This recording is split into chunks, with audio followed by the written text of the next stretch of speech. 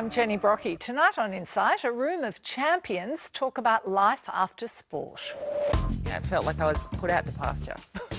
My plan B and C and D was all the same. It was plan A, playing in the Winfield Cup. For some reason, I can't let go because that elusive gold medal never happened. I'm not qualified at anything to earn money. Your promising AFL career was cut short last year. I wish I was able to go out there and like run around and play sport with the boys.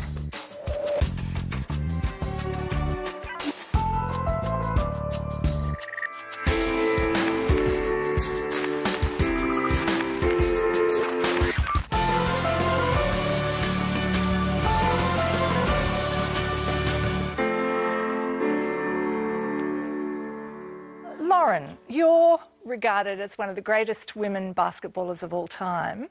You dominated Australian and American basketball courts for almost 20 years. How did you react initially when you retired? Um, it was it was really difficult. Uh, I was pushed out because of injury, obviously, and um, I, I personally wasn't ready to retire. It was one of those things where I just I couldn't run anymore, and, and I wasn't. There was no way I was going to get back out onto a court. So a group of doctors sat me down and said, "You- "You're never going to play again. It's over." And that was it. And I just remember thinking, "Okay." So I got up out of the room, and uh, yeah, I broke down, and it was hard. I mean, it was really, really difficult. Were you prepared at all? Was there any sense that that might be coming, or did it really Yeah. blindside you? Well, two, three years ago now, actually, I was in China and I, I sort of messed my knee up a little bit, and I had about 15 operations um, in the space of two years. And then uh, after the last injury was ACL, I tore my ACL, had that repaired in the hope of getting back for Rio. And then six weeks later, I got an infection in my knee joint, and then I, I had to have a knee replacement. And then, yeah, when it was over, it was over. And I actually needed them to tell me it was over. I couldn't obviously face You couldn't make that decision Yeah. yourself. Uh, Tell me a bit more about how you reacted. Um, initially, uh, there was this tiny little bit of relief when I was sitting in the room with everybody um, because, I, you know, in my heart, I think I knew it was over. But like I said, I could not actually make that decision myself. Um, I had to be told. And, and then within five minutes, I was bawling. I was crying. Um, I went straight back to my parents' house. Um, my parents have been my biggest supporters, and throughout my career, um, I found that they're really the only people in the world that I can trust. So I went back to my. Is that right? That's how you feel? Oh, They're the only ones? Yep. You can you can't rely on anyone. Um, and for me, you know, my parents have just been that, that rock, and without them, um, I don't know if I would have, you know, got to the heights that I did in my career. How long did that sense of devastation last for you? Oh, couple of months until I found out I was pregnant. I moved on.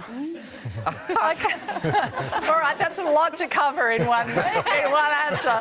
Um, So that's the secret. yeah, that's right. You all get pregnant. Excellent. Oh. Good luck with that, Matthew. Yeah. Um, you're gliding over this a little bit, though. I mean, two months is a long time. What was going on during that time? I, I did go into a shell. Um, I stayed with my parents. I didn't leave the house, um, and they really just took care of me. Um, and yeah, like I, I don't really want to go into great detail about how hard it was because it was really, really difficult. Um, and without them, I, you know, I hate to think what would have happened. What about you, Barry Hall? You were one of the best forwards in the AFL. You played almost 300 games. How did you react when it was all over six years ago? Well, I, I had a different circumstance. I, I chose to retire. I wanted to retire. Um, I got the feeling uh, when I went to training every day that I didn't want to train anymore. I didn't want to prepare uh, to the best of my ability to, you know, perform on the weekend. I think when you get to that stage, that's when it's time to give up the game. Did I struggle after the sport finished? Absolutely. How? Certainly did. Um, just getting out of bed. Nothing to get out of bed for anymore. It was a real struggle. You, you're all agreeing with this, yeah?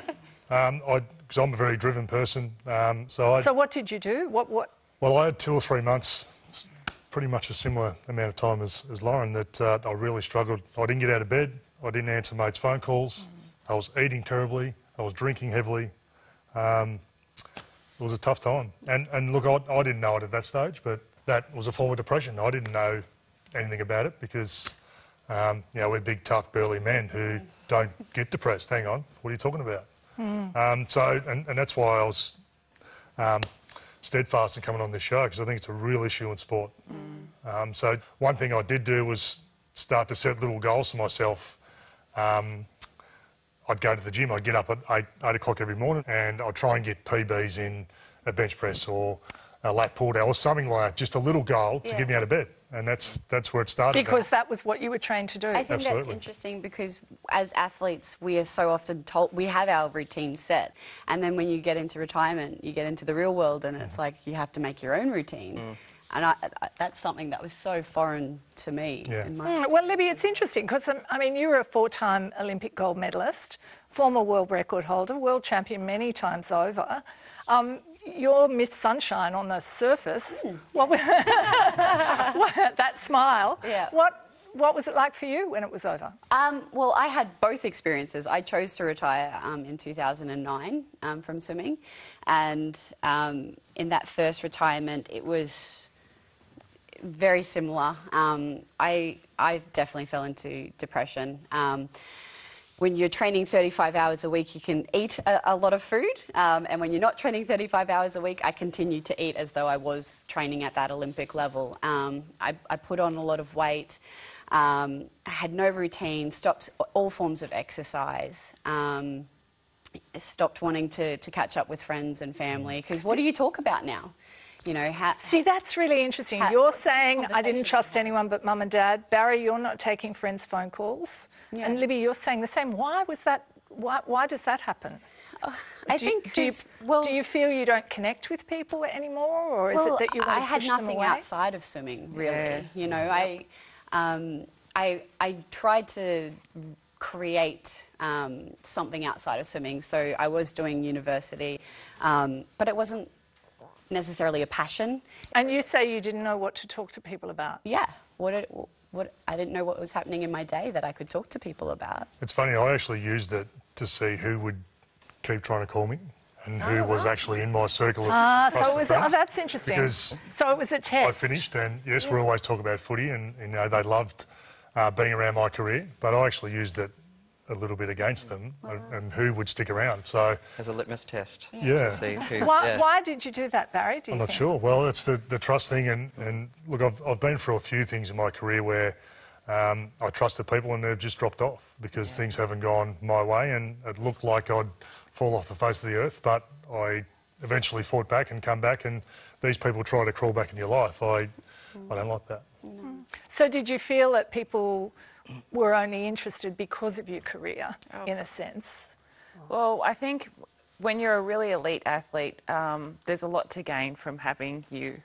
Um, like whether you're a coach, you're a uh, administrator, whatever, you need to get the best out of your athletes. And when you're not getting the best out of your athletes, then you move on. And I think for me, after when I retired, it's really interesting. It felt like I was put out to pasture, literally. Like it was, I, I'd been one of their greatest resources and, you know, um, athletes and whatever. And then all of a sudden it was over. and you, you don't hear from them. But, you know, meanwhile, my body's crap. crap. Sorry, you know, I don't know if I'm That's allowed to say that on TV. Um, yeah. You just did. We've just beeped it.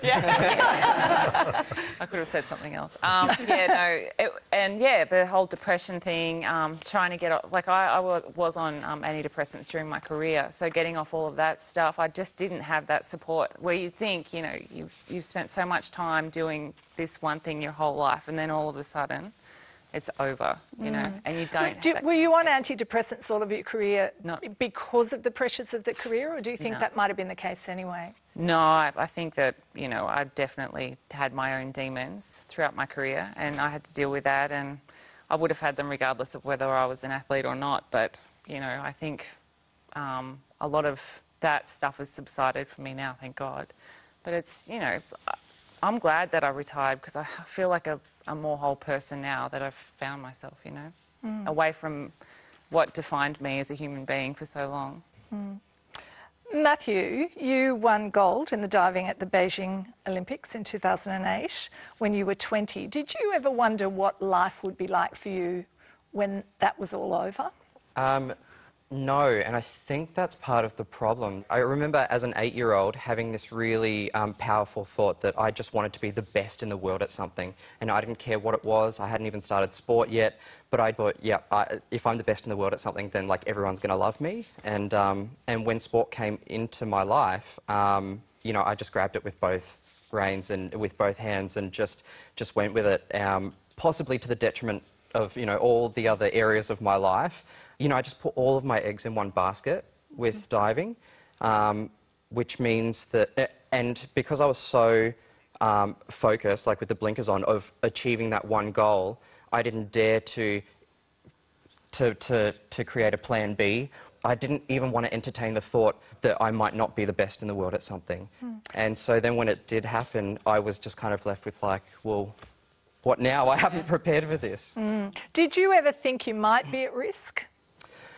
Um, yeah, uh, yes, because um, I suffered from a pretty profound period of depression from 14 to 18.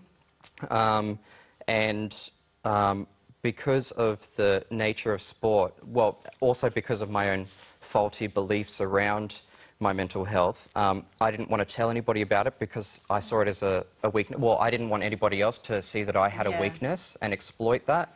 Um, so I I just tried to manage it myself, which ended up um, resulting in me retiring at 18 and going a bit off the rails um, with, uh, with drugs and partying and stuff. And I, when I retired at 18, I actually had no intention of ever returning to the sport.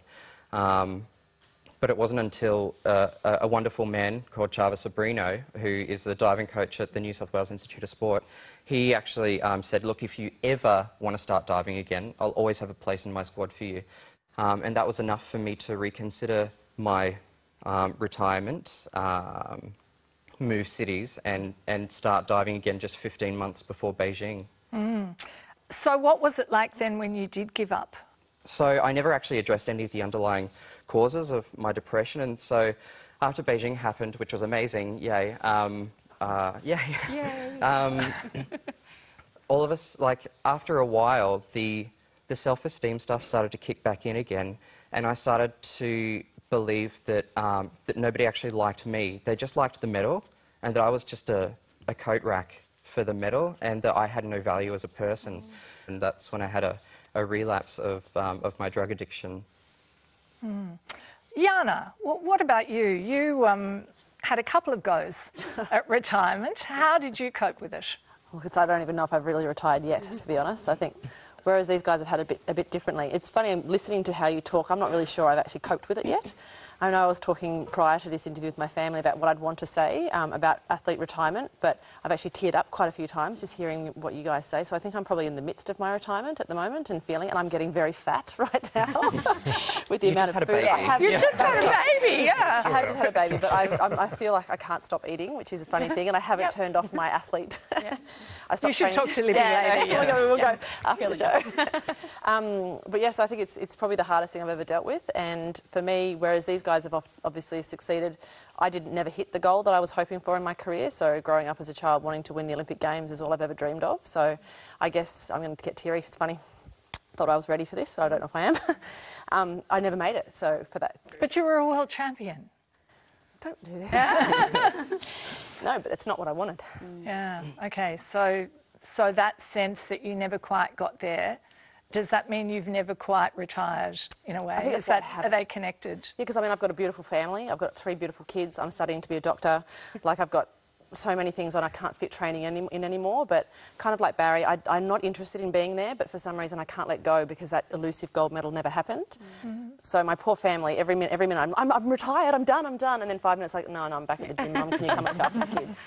It's yeah, well, you went from the hurdling to the bobsleigh as well, didn't you? To, yeah. To, and I thought were... that was going to be it because it was such a wonderful transition to go out of a sport where you were supposed to win the Olympics and to go into something where one you're part of a team, so that's amazing, um, and secondly, you know, it's a it's a different sport where you're not expected to win. Like it was just about you know the Aussies going out for like I mean, let's be real, bobsled in Australia, it's not really the not really the big thing. So um, it was really amazing to to have that opportunity, and I thought that was it, but yet again, um, straight after the Olympics, I'm fit, I'm uninjured, and then to be injury free, you think sweet, it's two years till Rio, give it a go.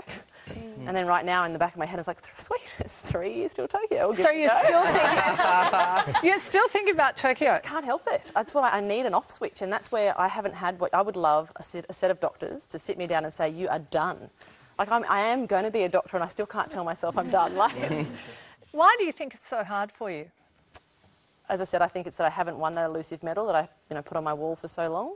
Um, Why is that medals? I mean, I mean, obviously, an Olympic medal is hugely important, but why have you not been able to let go of that idea? identity, I think. It's that you have caught yourself up so much in what you want and believe is, is, is, is who you are, and to sort of not. I think actually for me it was also a little bit, and this is a great message for the young audience in our room, is I made a lot of mistakes with the media. Again, a little bit like Matt. I was so desperate to be liked, so I grew up as a real nerdy kid hanging out in the library and not really having a great social network. And I saw sport as a platform to me to make friends and to be popular, and, and, and no one in their right mind would want the media to, make, to say negative things about them. Like, let's mm. be honest.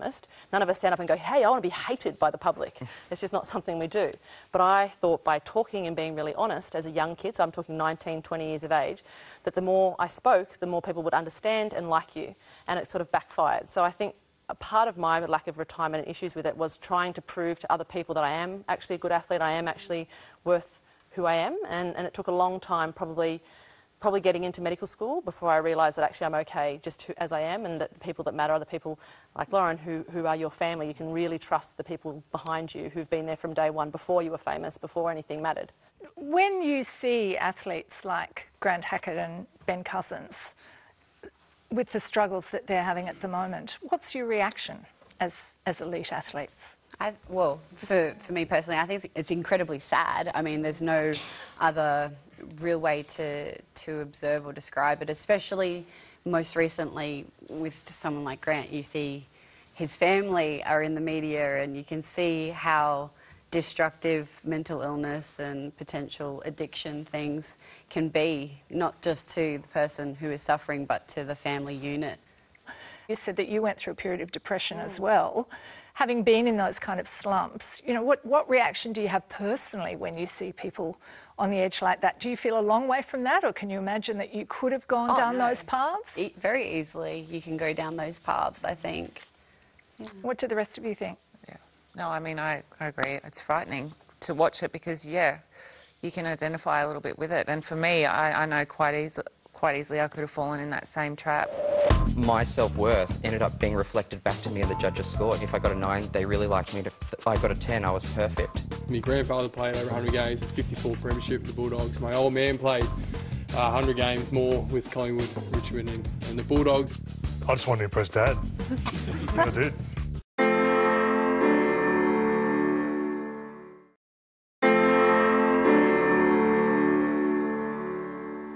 Lauren, when did being a basketball champion first figure in your thinking?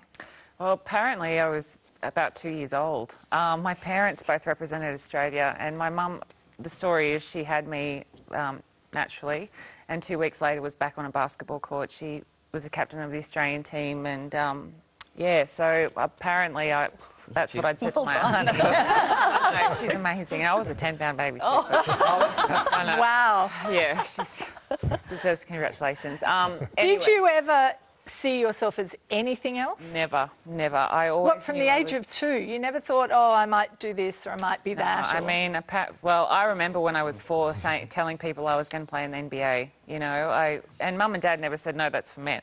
You know, it was never anything like you that. You fully intended to play basketball with the men? Oh, Yeah. I, I thought I could then when I was four. Like I actually had this, un- like similar to what you were saying about wanting to be the best in the world. I, I was like that too with basketball. I had no other direction, so uh, it was in me for sure. Um, Matthew, what did you want as a kid? Um, I think the motive, like the trigger for this thought that I just wanted to be the best in the world at something was that I felt um, maybe a bit like neglected or that I wasn't getting the positive reinforcement and the validation that I was craving. And, um, This and was then- at home with, yeah. with your mum? Yes. Um, I mean, the, she was sick at the time anyway, and it was a single parent, like single child, single parent in a house by ourselves, you know, and she had chronic fatigue and stuff, and so she spent a lot of time, like a lot of time um, in bed, and so I was by myself a lot. and so not getting any of that, that validation that I was craving. And then when I did actually do something great, that only acted as, as confirmation to this belief that if I did really great things, I was going to get this, this validation, this positive reinforcement. And then so, you know, my mind just went straight to, yeah, if I'm the best in the world, everyone's going to love me. Mum's going to love me, everyone's going to love me. And that acted as a really, really powerful emotional motivator right throughout my teenage years. And like I still stayed in diving, even though I was um, not enjoying it. Um, I stuck with it because I felt like this was my one ticket to being special. Wow, those, those are really high stakes then, particularly if you're operating at that level when you end, when, it, when it's over.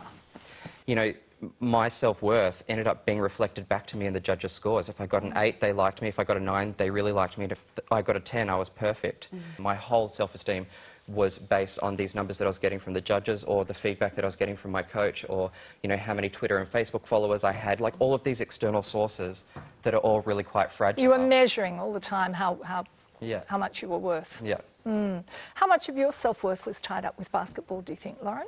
Um, I, don't, I don't think. I don't, I don't think I've ever had a problem so much with self-esteem. Like I, I had so much confidence in basketball. Like by the time I was in year seven, I was telling people at school that by year ten I'm going to be at the AIS and playing basketball, and I was. And I, and for me, it wasn't so much about that. It was the highs and lows that I really struggled with in life. Like I was either very high or very low, and it's just a, a chemical thing for me. Um, what I was dealing with. So, you know, with basketball, the minute I got out on the basketball court, I could just forget about everything else that was going on in my life and just play. And that's sort of how I threw myself into sport and how I became um, the player that I was because I just left it all out there. You know? Jake, you played AFL briefly for Carlton. You could have chosen a cricket career, which you were also really good at. Why AFL? What, what drove you towards AFL? Yeah, I guess I got a bit of a family history uh, in AFL, VFL football. Um, so growing up my entire life, grew up on a small farm uh, down in down in Victoria. Um, my great grandfather played over 100 games for the Foot, Footscray and the Bulldogs. My grandfather played over 100 games, with 54 premiership with the Bulldogs. My old man played uh, 100 games more with Collingwood, Richmond, and, and the Bulldogs. And my cousin Shane O'Brien played 200, nearly 250 games of AFL uh, football. So I remember a conversation I had with my, my old man one day, and he come into my into my bedroom and he goes, "Look, Mum, can't keep driving you around to cricket and football the whole time. So you got to make your mind up." Because I just been selected for Vic in cricket uh, and and football as well, and. He goes, make up your mind. We'll leave it up to you. Whatever you want to do, you know, it will, it, it's your choice. It's your life. And he turned around, went to walk out, and he stopped, and he goes, "But you know the family history in football, don't you?" um, so it, obviously, in that moment, I remember thinking, "Look, I was always going to play AFL football. What were you hoping to achieve as an AFL player? Uh, 100 games, AFL. Because to me, anything below that was a fail. And once you made it to Carlton, what was it like with all that history behind you, waiting to see if you get picked or not? Yeah, it was a, a big, a big moment in time. I certainly remember it um, as clear as uh, today. So, you know, I, I had the expectation of getting drafted. I was a 17-year-old, um, so I was a bottom age recruit. Uh, so, you know, I just finished year 12 and then got drafted to the Carlton Football Club. Um, and for me, it was such an exciting period. How much of your self worth do you think was tied up with being an AFL player? Um, you know, I see so many young faces in this room, and you know, uh, when I was in year 12, so probably roughly some people in this room would be around that age bracket. I didn't have athletes like this as role models that were actually real and honest and raw about the, the realism of becoming an athlete. Uh, all I saw was, you know, the, the highlights of playing AFL football. Um, but yeah, look, it, certainly the transition period was quite quite difficult for me. Uh, PJ Marsh, what about you? Um, you grew up in Blackwater in central Queensland. Did you always want to play in the NRL? Yeah, since Lauren started talking here before, I've just been nodding about every single thing that each person has said at every stage of their career when they finished. I was eight years old when I decided I was going to play in the NRL. Back then it was the Winfield Cup. We put a time capsule in the ground in, I think it was year three. Yeah, I was turning, turning nine, and it said, the class teacher said to us, you need to write on the bit of paper what you'll be doing in the year 2000. And I wrote on it I'll be playing for the Brisbane Broncos in the Winfield Cup, or I'll be mowing the lawn so I can watch the football for free.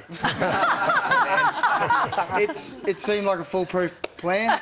In 2000, my mum and dad rang me from school with all my relatives laughing.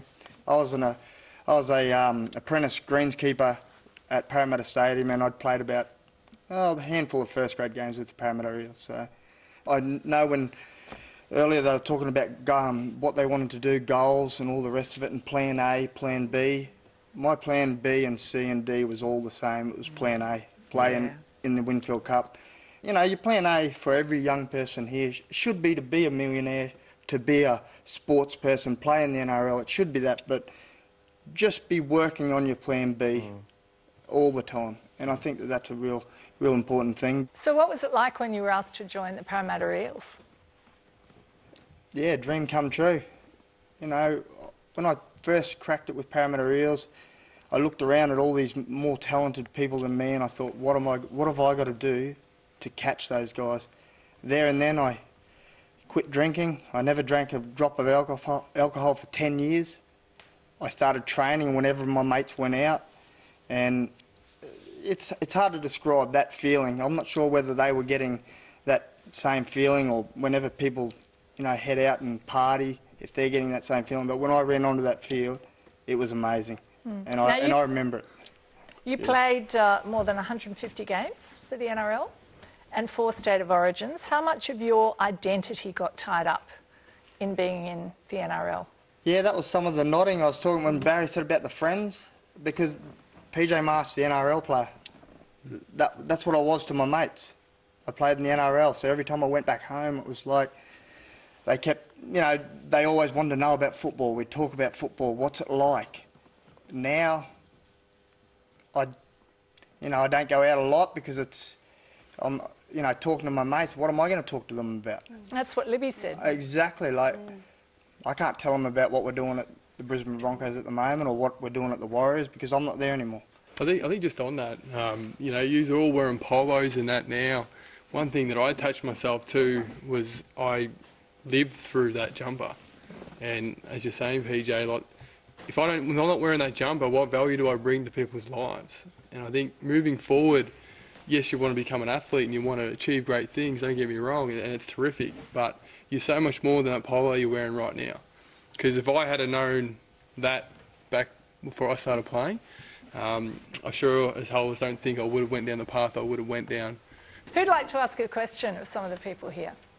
Do you think it's the sporting culture though? Because we're all drilled into like training eight sessions a week. Because I'm a swimmer myself, like swim eight sessions a week. You got to go to the gym. Like then once you quit, you're like, well then there's nothing there. Do you think? I would- You're a swimmer, Yes. Courtney, a marathon swimmer, yes? Yes, yes. Mm. Oh, well done. No pressure, Libby. No pressure. Um, I, yeah, I think it is partly the culture because I think we're all also laser focused Yeah. on what the goal is, and you know, for me that involved an Olympic gold medal and um, you know, personal best times and Yeah, all yeah. those elements. Did you know it was time to retire? Like, I, I, I got injured, so I had had a year out with my first retirement. Um, came back, managed to make London, Yeah. um, and had every intention of going on to Rio, but I had a full um, wrist tear.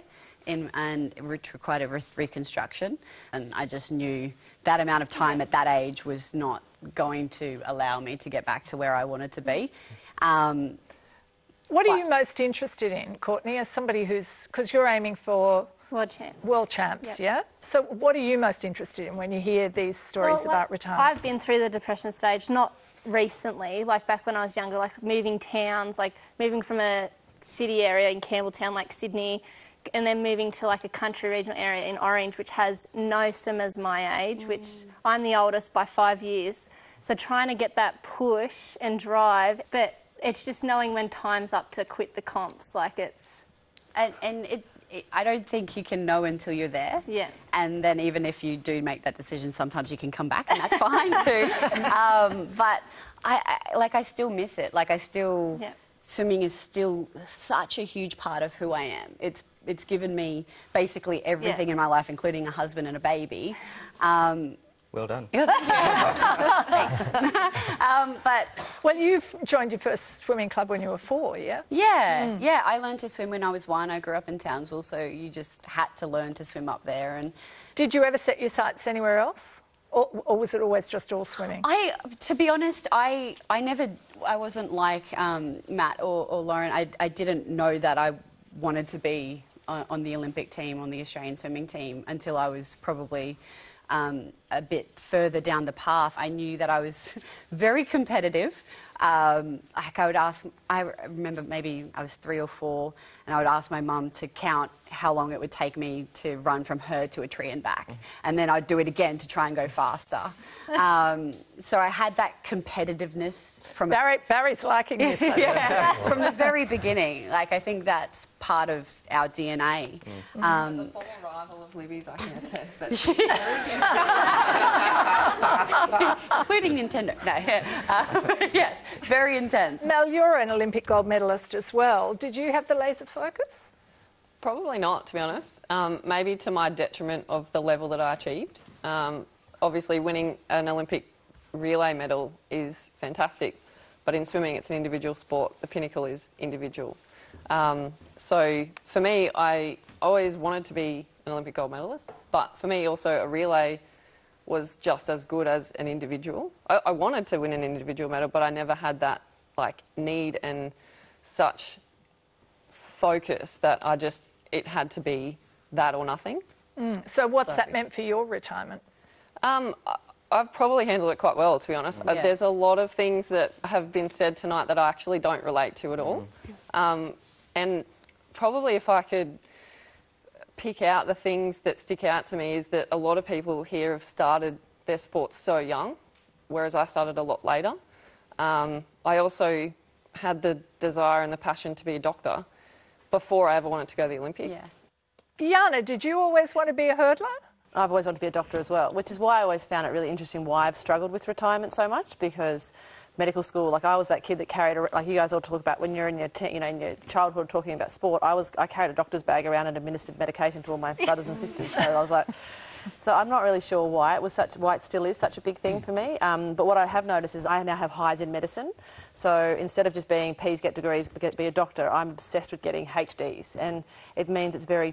I've got to somehow learn in every part of You've your got to be life. top of the need to- tree. How to moderate. yeah, I've got to start. I've got to start moderate. I'm learning that from mm. even listening to you guys. So I'm learning as much as these young people mm-hmm. that I need to moderate that behaviour. So I don't want people at home or in the audience to be scared to think that sport is something you don't want to try. It's Yeah, been yeah. the most amazing thing I've ever done in my mm. life. It's incredible to be up there representing your country, wearing the green and gold, hearing your anthem play, and the Aussie flag rising above everybody else's. It's incredible, but. You just got to be prepared that most of us aren't like Barry. We don't get a choice, and you just have to have a little bit of a backup plan. And Barry, you started out as a boxer. Why? I just wanted to impress Dad. I did. I just wanted to impress my dad, like like most young kids.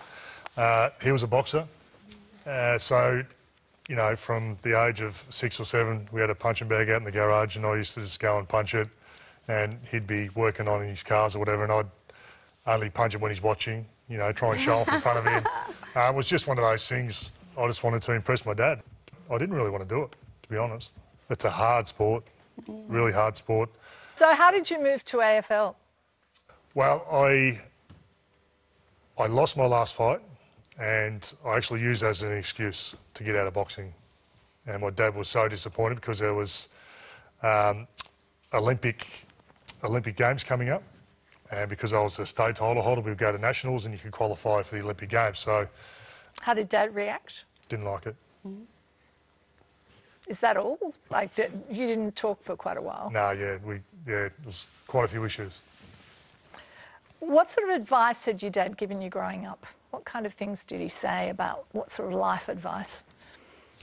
Look, my dad's a really hard man. Uh, he's probably he hasn't got very good words of wisdom, but um, it was all what about were they? was all ego driven, and it was drummed into me at a young age to not let anyone have anything over you.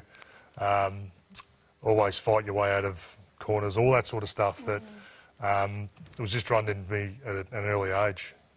Um, when I could channel that in a right way, I could benefit from it. But on the other sense, um, it hindered me in, in a lot of ways as well. Mm, well, the few years that led up to your retirement were really tricky for you, weren't they? And and controversial. There were violent incidents on the field. This one, famously in 2008, where you um, punched West Coast Eagles player Brent Staker. West Coast free kick. Oh, that was a shocker.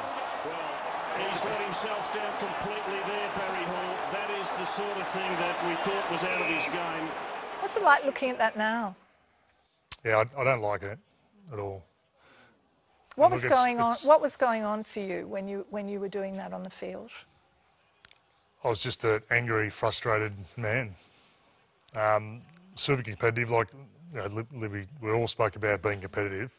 I was competitive to the point of being unhealthy, that I'd make it personal. If someone beat me, I'd make it personal, and I'd do anything to get them back. And do you think that was because of the way you'd been raised? Well, it was, it was pretty ruthless the way I was raised, yeah. Yep. In what way? Well, I, one day I came home with, uh, I got a cut on my cheek, I got beaten up at school, and the instructions were to go back the next morning and fix it up. Don't come home unless you do. So it's just a, a pretty brutal way. And I didn't want to go back and fight the kid, but I felt like I had to. So, um, as I said, it's not something I'm proud of. Like I look, I look at that, and I'm, I'm disgusted in it because he has to live through that now, not only me.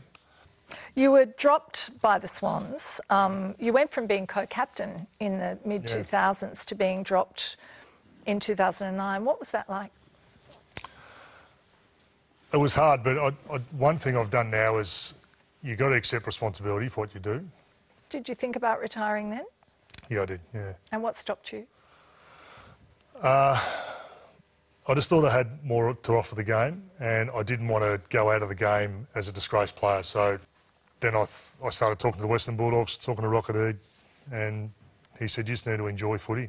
Enjoy it for what it is. You've done all the hard work. You don't have to make it. You've made it. Enjoy it. And it just opened my eyes. I, I had a pre season. I actually looked forward to coming back. Um, I was rejuvenated. I was like a, a different person, a different player. How did you know when it was time to go? driving to training all the time. I didn't want to go. Yeah. PJ, what- what happens with serious injury? In your case, you had serious injury that pushed you out. Yeah, I, I remember earlier the different. Hearing Barry say he got the call it quits when he wanted. 23 is when I first broke my neck, and was told I'd never play again, and didn't play for two years, and then came back to play, and then it, I obviously was never the same player again.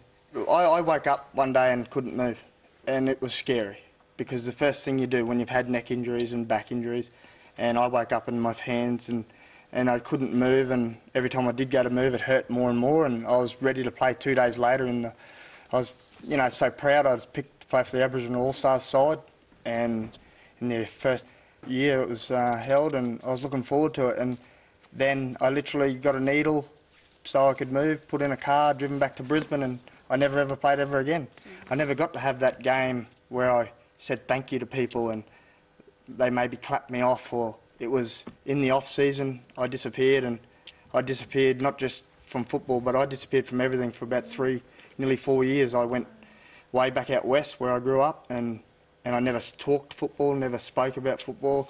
It's really interesting. It seems to be a common theme that, um, you know, that one day you're playing and or competing, and the next day it's over. And how do you handle that? And I wonder, sort of makes me think that that is an important part of it because, you know, in my own experience, I was injured as well. I had about three-year injury. Eventually, it got me, and I was able to rehab it enough to swim one last time at the Olympic trials, knowing I would not make the team, but having that meet to be able to swim that last time and say goodbye to my Like career. a farewell meet. Yeah, and I guess for me, I remember standing on the block and having that feeling like I did when I was a kid, that I was just out there having fun Mm. and there was no pressure, and it was just that farewell meet for me. And I wonder if that is an important part of it, that when it does end so suddenly, if that just compounds the issue. One second I was a footballer, loving it. Um, and that was where I wanted to be. And the next second, bang, I was um, completely out.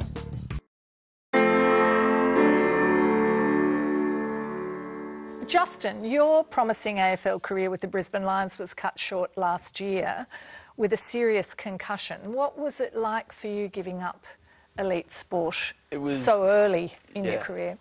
That was probably the hardest part about it was the fact that I knew that I had, I, I believed that I had, you know, six, eight years of good footy, probably the peak of my career to come ahead of me. Um, and so I guess that part of it was the hardest and has been the hardest part to deal with. It's something that I still struggle with. Um, like I, I wish I was able to go out there and like run around and play sport with the boys. Hmm. You okay? Yeah. Yeah, re- I mean, really difficult and, and so random, those things.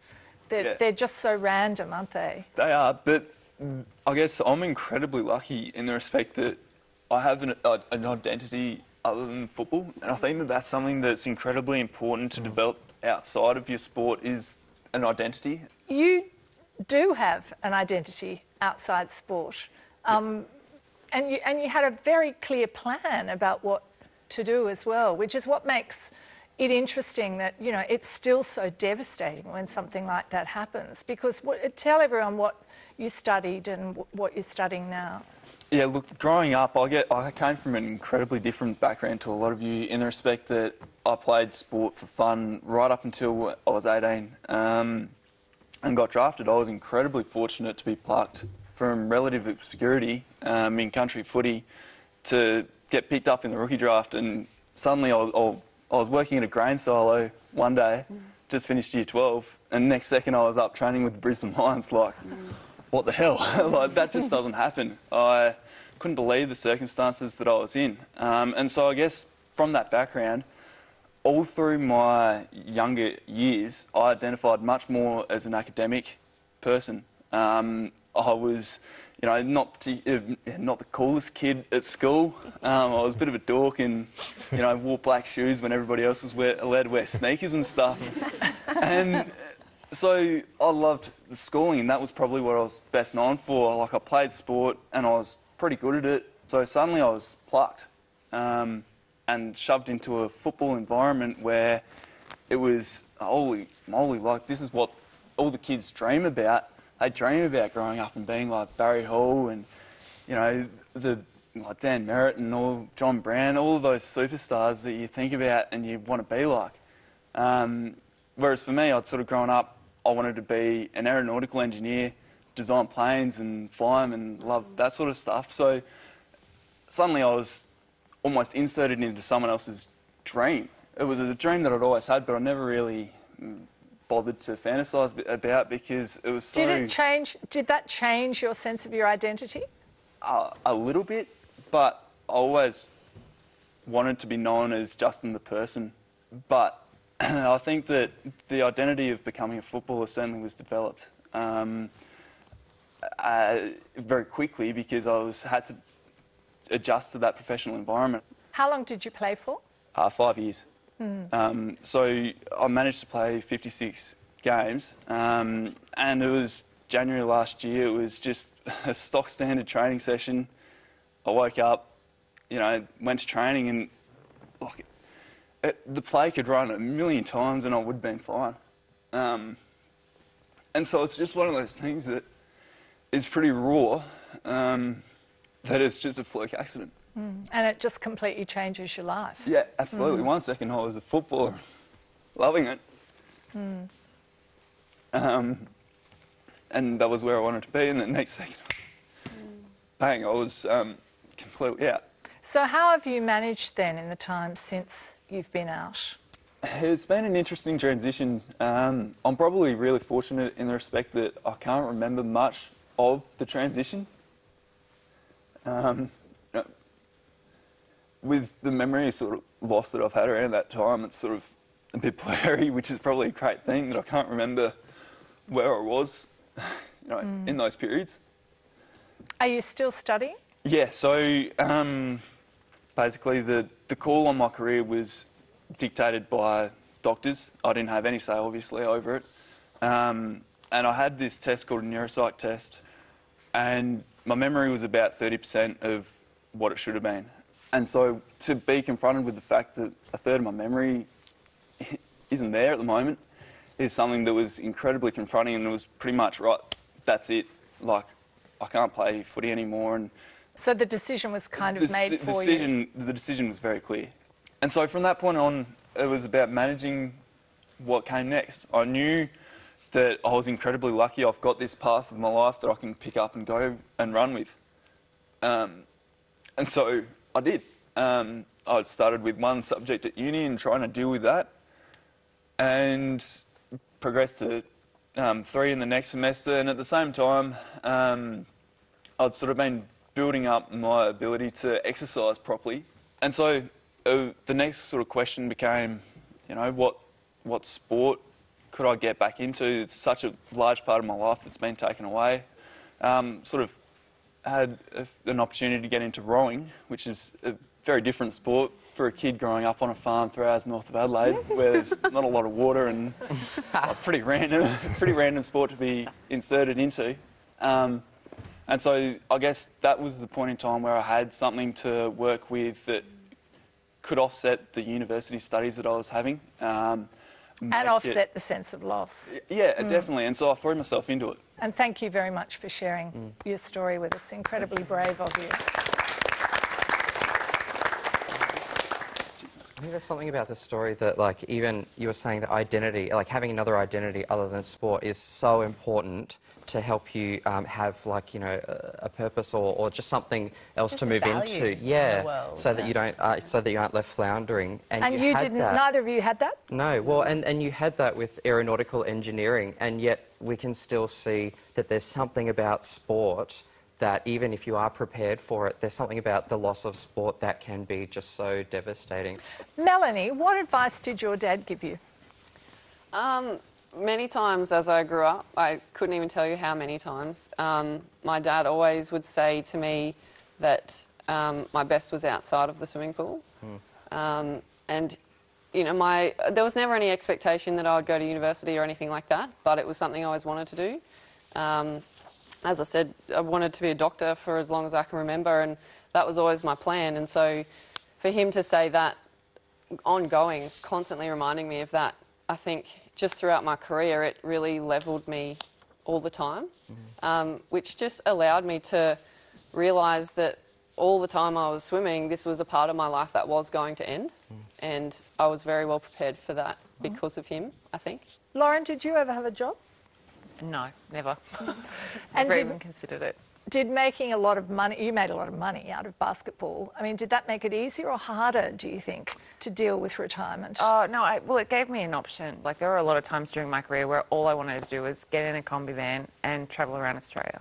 Like that's it. I just wanted to be away and do nothing. And you know, obviously making money definitely um, gave me the opportunity to do that if I wanted to when I retired. So it, it gave me the option to either just sit down and do nothing or you know whatever I wanted to do. So, but the thing is, I, I ended up taking up a job offer I got within a month of retiring because sitting at home was clearly doing nothing for me, and I was actually going crazy. Um, Mm. And Barry, uh, what about you? I mean, you had no job outside football?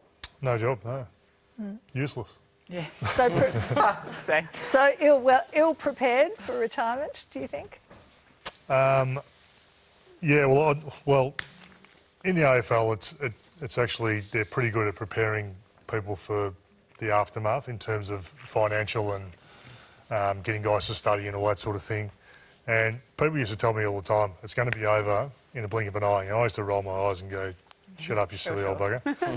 um, and now I'm saying the same thing to, to young kids. So listen, please. Uh, I didn't listen. And um, as I said, I'm very lucky and fortunate that I was managed well and that uh, I kept my profile ticking along because I'm not qualified at anything to earn money. So um, education, uh, I've got no qualifications. Um, so if I don't get endorsement deals or do, what, what do I do? I've got no income. That's why you do tissue ads. Yeah. Well, I was. I was Thanks for bringing that up. Um, yeah. Look, I, that's that's one thing I've been very blessed and lucky with that you know that that sort of stuff has, has popped up. But So this is all about a profile, of course. It's Yeah. about, it, and that's it, it's how high a profile you have, and how desirable your profile is, or how interested people are in your kind of profile. Hmm. I shouldn't Yeah. say I've got nothing because I've I I own some mechanical shops because my family are into mechanics and my brother runs all those. Yeah, in terms of me actually going out and doing something or getting a job, there's probably not a lot I could do.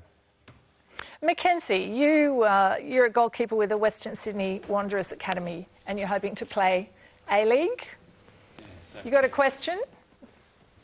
During your sporting career, uh, how did you balance your schooling with your sports commitment? I'm, um, I've been doing my undergrad for the last seven years, and I'm only just in my second year. the university recently sent me a letter saying, You do realise you have a 10 year time limit on your degree and that you need to hurry up. So, I think the question, though, I think what Mackenzie wants to know is just how, when you're training and doing all that kind of thing, how do you balance school with? I guess the point was like, it, I'm doing it very, very, very part time. Um, high school, I had the option to do 11 and 12 over three years. Um, I ended up getting impatient and actually doing it in the two years. But I guess our training sessions were structured around school. Um, so you know we would train six to 8:30 and then um, three to 6:30 to accommodate that. And I never ended up doing homework because of it, or seldom did homework, and just tried to get it all done in that six-hour period that I was at school. Lauren, what about you? When I when I was your age, I year ele- I failed high school miserably. Like I missed I, 100 days or something in year 11 and 90 in year 12, and I, I didn't even get my HSC. And then it wasn't until 2010 that I started studying um, at uni. But I, I think the difference for me was too was learning how to study. Like for me, being in a classroom your age wasn't where I wanted to be. I wanted to be playing basketball. I wanted to be training. That's all I could think about, and that's all I was good at. But eh, times have changed, you know. And I think if you've got the opportunity to to play sport and do schooling, do it. Because when you get to our age, you're going to wish you did.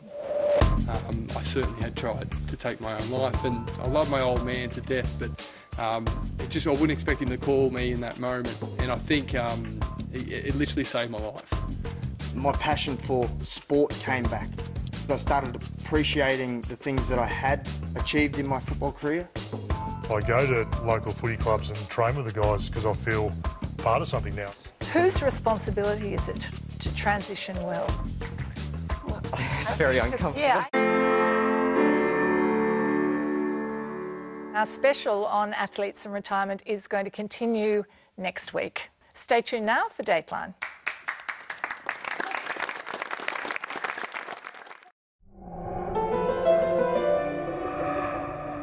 Hi, I'm Jenny Brockie. Tonight on Insight, our special on athletes after retirement continues.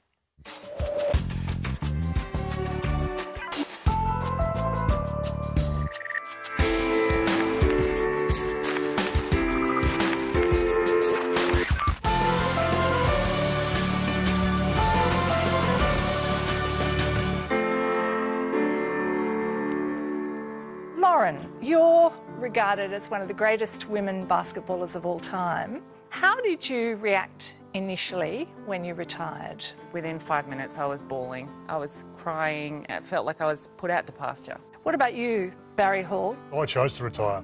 Um, did I struggle after the sport finished? Absolutely. You know, we're big, tough, burly men who don't get depressed. Hang on, what are you talking about? I put on a lot of weight, um, had no routine, stopped all forms of exercise.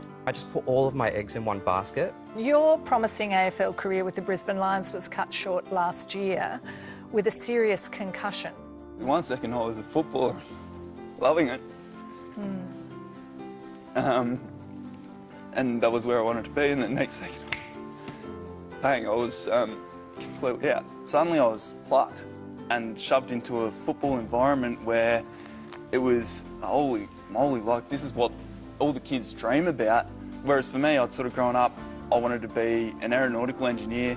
I'm studying to be a doctor, but for some reason I can't let go because that elusive gold medal never happened. Mel, you're an Olympic gold medalist as well. Did you have the laser focus?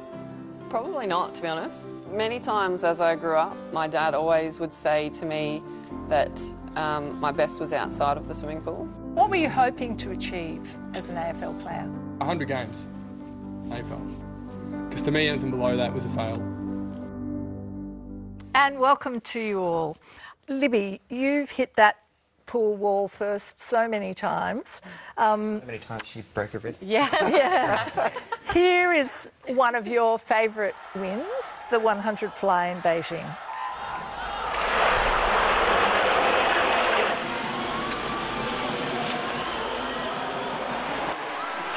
Magnuson and also Schipper, but Libby's going to touch it and get it. It, the, the first overwhelming feeling is relief. Yes. 100%, 100% relief. Because you're just so, so thrilled that everything came together. Because it's, it's not just four years of training or however many years of training you've gone before you, but it's, you have to have some luck on the day. Um, you have to make sure you nail your race process and to to touch the wall and win gold and achieve a dream that you've been thinking about for so long, um, you're just so relieved that it's there and you've done it. The relief is So that it's all been worth it. Oh, it's so worth it. all so the worth it. the stuff that you've put into it, that Yeah. the whole the previous ten years, all of the training, all of the sacrifices, Sacrifices. it's all been worth it. It's, like, it's actually been worth it. You know, all of that. What's the emotion. high like, though? Is there anything like it? Does anything compare to that feeling? Well, I mean, uh, uh, one of my favourite things about racing was actually the moment before I got on the blocks. It's the anticipation of what's going to happen. So you, you don't know. You don't know how it's going to play out. And there's something so special about feeling so physically fit and so ready for a moment.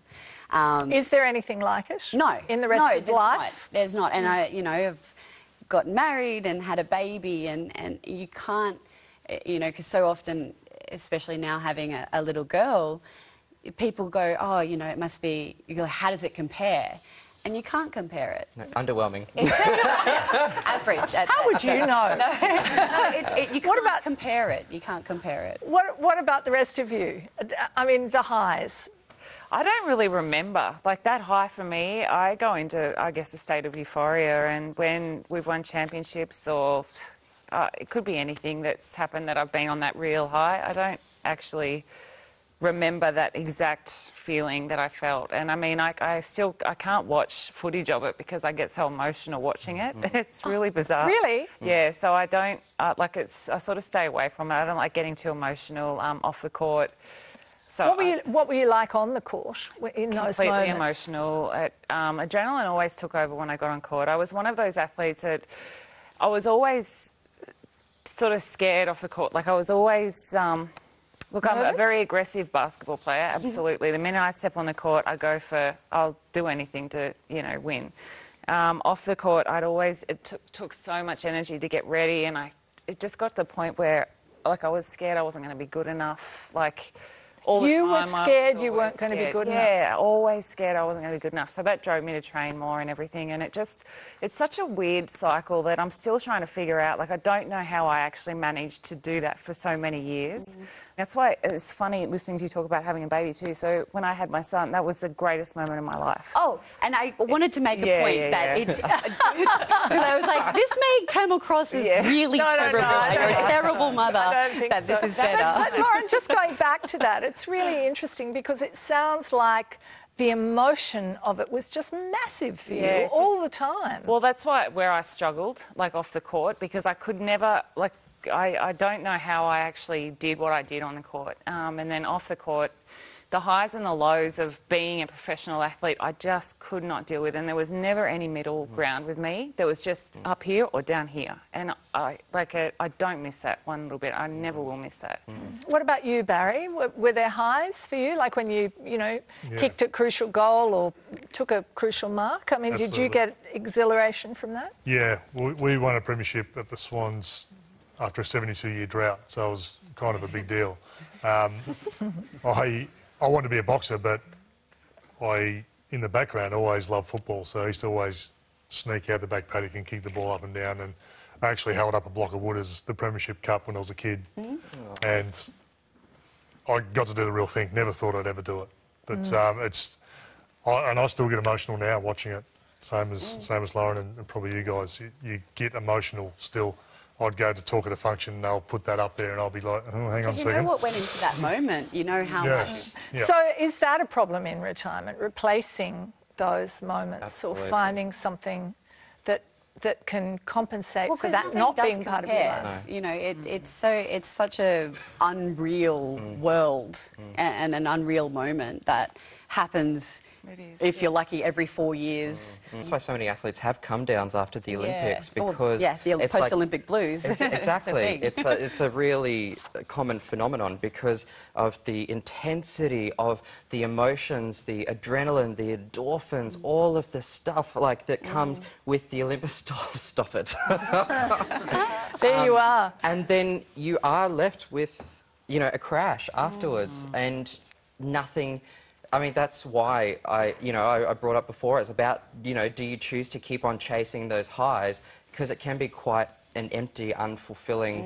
Um, Well, you know, that's why people spiral into drugs and alcohol, Exactly, because they don't know how to manage those. drugs either like um, copy the high that you get from you know from the Olympics, or alcohol numbs the feeling that Mm. you get, and so it's no surprise that so many athletes um, or people in general do turn to those things because chemically it it, it it replicates, that same feeling that you get, and you do get hooked on it. Like after the Olympics, you're like, oh my god, that was the best thing ever. Do you get those highs from anything now, Jana? I actually genuinely do have that high every time I deliver a baby, I guess, because I want to be an obstetrician, gynae. And to be honest, every, like I remember the, the day I decided not to do Rio was the day I didn't want to drive to training because I wanted to stay back for this surgery.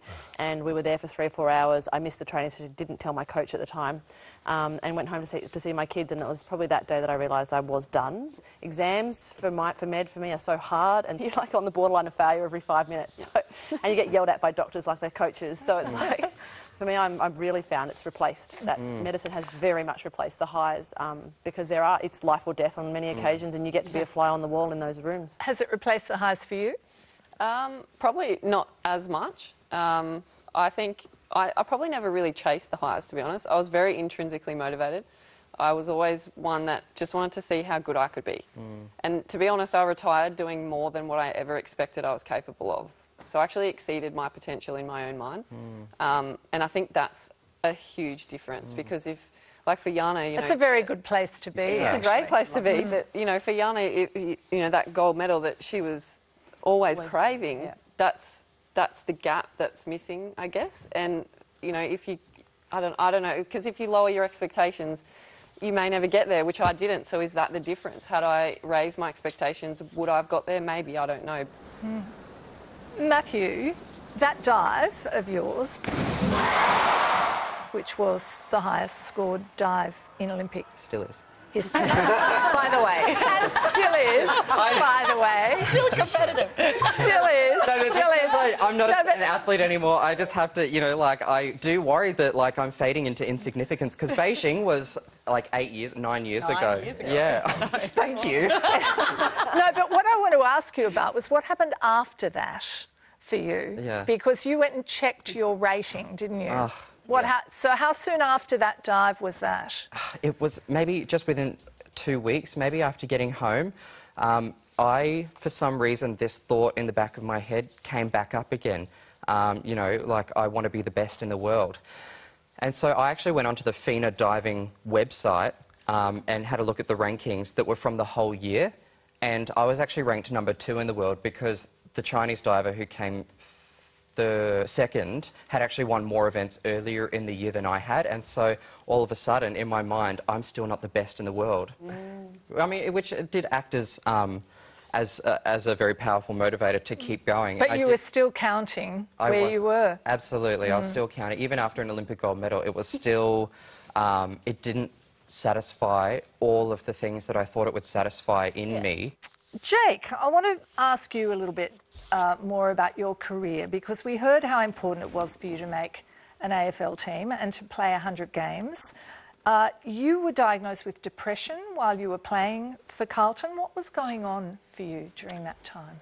Yeah, so it was a pretty confronting period uh, for me. When I was 19, two years into my career, I started noticing some behavioural changes in myself. And I was always a confident kid at school, um, got along with everyone. And I started noticing things like just getting out of bed was really, really, really difficult.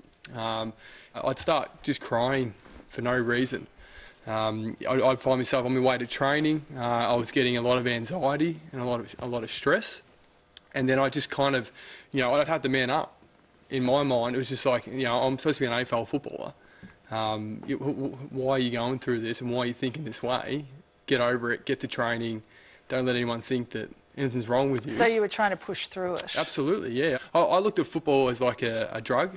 Um, it, it was my addiction because when I was out on the field and I was playing, um, I, my life was perfect. It was great because I was doing something that I was I was bloody good at. Mm, Um, other, y- you were nodding about the idea of it being a drug. Yeah. Libby? Yeah, absolutely. I think um, when you have that intensity of focus and drive for something, you know, you kind of com- like it's a compulsion to go to training. It's a compulsion to try and achieve something, and you know that's definitely I think along the lines of of an addiction. Absolutely. Yeah, so, Yep. yeah, and actually quit uh, and went back home to the farm.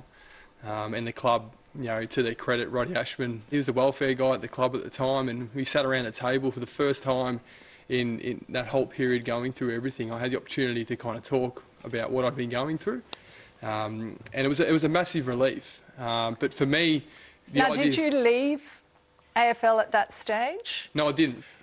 I didn't want to leave AFL. I just wanted to get away from what was going on in here. Inside because, you. Yeah, because I was looking at my life going, here I am, I'm an AFL player, I'm living my dream. Um, I've got the best parents that I, I could possibly imagine, two older brothers who are great role models. I just signed a contract for $180,000 a year as a 19, 20 year old.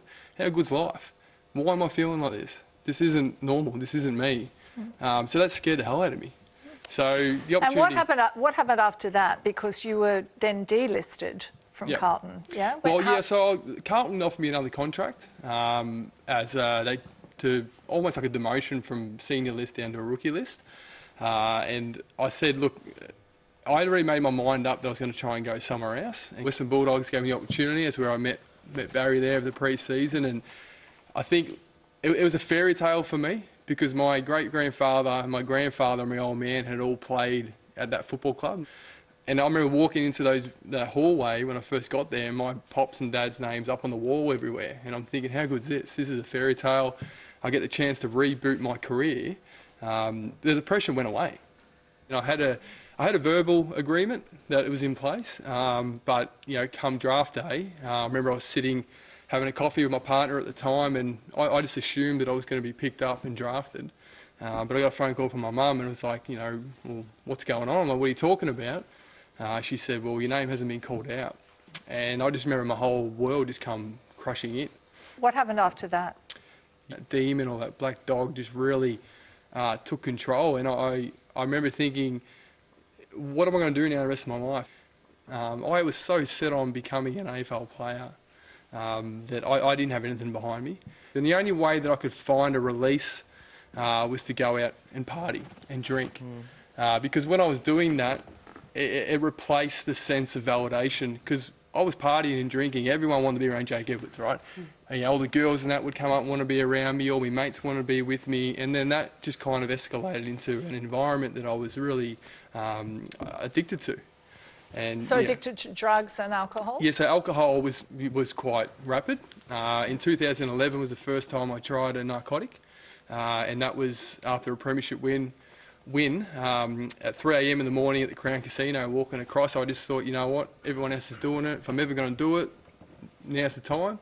Um, what, what, what, you know, what's the worst that could happen? Um, yeah, if I had known at that moment what I was going to do for the next three years of my life, um, it literally ripped ripped me apart, and it What did, a, what did happen? Yeah, so it kind of led from a, something I thought I was in control of uh, to where you know nearly four years down the track, I was using probably every or every day. At the end of that four years, I, I had a had an episode where a few things had triggered in my life. Um, you know, I was failing in, in business. Uh, financially, I was I was on my knees. Um, I had at one point I had 45 cents in my account. I remember trying to sell um, a flat screen TV and Xbox games into cash converters, just to get some money to actually go out to my best mate's birthday party that night. They wouldn't take this flat screen TV because it had a crack in the corner. And I remember walking out on the street and sitting in my car and just thinking, how has this happened? Like, I'm supposed, to, I was this AFL player, you know, families there, everyone's there, but here I am sitting in my ute on Puckle Street in Moonee Ponds in Victoria, you know, crying hysterically. And I sat there for about an hour. Um, and it all just, the realisation of where things had got was, was quite gone in the way of how do I get out of this now. Um, a few months down the track, uh, a girlfriend with me at the time, what she she walked out of my life, uh, and that was a triggering point. Where I'm, it was a Thursday night, and I made a decision that, well, you know, this is it. You know, this thing you call life, um, I, I, suck at it because I'm clearly failing in every area of my life, uh, and I just kind of made a decision that I just don't want to do this anymore. And I went out partying uh, Thursday, Friday, Saturday, Sunday night, about four hours sleep, you know, alcohol fueled and, and drug induced. Uh, yeah, and I tried to take my own life uh, in my bathroom on Monday morning. Um, I remember late, as the moment I was on the floor, um, my phone called. Um, and of all people in my life, you know, check my phone book, the last one I'd expect to call would be my dad. Um, just because growing up, you know, he was very hard and fair, and I love my old man to death, but um, it just I wouldn't expect him to call me in that moment, and I think um, it, it, literally saved my life. Why do you think it got so hard for you? Because you know we watch public figures, sports people, you know, in these situations where they're yeah. they're in real trouble. Why do you think it got so hard for you? Yeah, I, I, like to think that like you got these great athletes up here. Um, you know, everyone, these guys here sitting next to me. I know Barry looks like Superman, but you know, probably underneath his shirt there, he certainly doesn't have a big S on his chest. Um, and the fact is, is that we're not, we are human, and we, we are people. Uh, and the frustrating thing I get from the community is that naivety. The people like I know Buddy Franklin's been through some stuff. You know, Mitch Clark, Ben Cousins of recent times. Um, you know, we we we live in the communities that everyone else around us lives. So the challenges and issues you that are we the face, community as we well are, as yeah. So and we are we stuff. face the same challenges. Um, I guess for me, it was such a level of expectation uh, growing up, um, having failed in my eyes that I didn't achieve. You didn't get to that hundred games that you yeah. set as the goal that you wanted to get to. That's right. Yeah, and I used that. Um, you know, as a mechanism, I guess, moving forward, as to um, everything else in my life couldn't possibly reach that mm. potential anymore. Can you gauge how much of what happened to you you could attribute to a sports career and being an elite athlete, and how much of it might have happened anyway? Yeah, I think um, I think the fact how it kind of happened at the age of 19, and the fact it kind of come, really crept up on me out of nowhere. I don't blame my mental health or depression for my football career. Mm. There's aspects of my career looking back I know that I didn't do well enough. Um, but indirectly or directly, whether I like to admit it or not, um, my diagnosis and what I was going through, sy- symptomatic, was affecting me as a, as a young man, and that was going to directly infect, affect my performance as, a, as an athlete. Uh, and that's something I couldn't come to terms with. I couldn't possibly sit. But what about the pressures that being an athlete put on that young man as well? Yeah, extreme. The young man you were. Yes, I get asked that a lot in terms of the pressure cooker. I mean, you know, in terms of sitting in that environment, football in my life didn't leave me when I left the club rooms. Like I'm, I wasn't a top 20 draft pick. So I'm committed to becoming an AFL footballer. Nothing else exists outside of that. So I was on the cusp the whole time. So I didn't know if I was going to get picked. I didn't know if I was going to be playing in the reserves reserves that week. You know, and I brought that home and it affected my relationships, it affected my family life, it affected a lot of things that were going on outside of football. So looking at, a, at a, another teammate in the eyes uh, and having the, I guess, the environment where that conversation might happen, mm. where they say, mate, are you all right? Is everything okay? That scared me more than anything.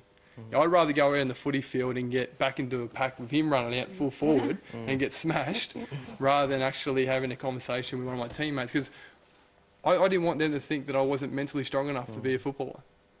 And because I knew physically I was fine, mm. but mentally I knew that I wasn't coping and that scared me because I didn't want to be seen to be weak. My passion for sport came back.